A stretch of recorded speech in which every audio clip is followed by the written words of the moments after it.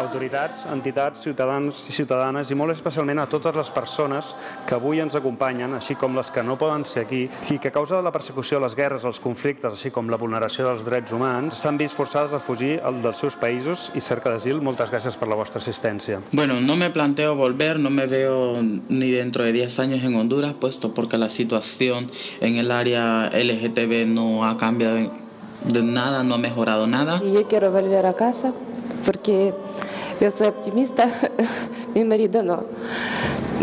Yo creo que es, será muy buena opción para mi familia. Les entitats que participen en aquest acte continuaran treballant a favor de les persones refugiades, desplaçades, apatrides, reassentades i retornades, perquè se'n respectin els drets tant a casa nostra com a fora de les nostres fronteres.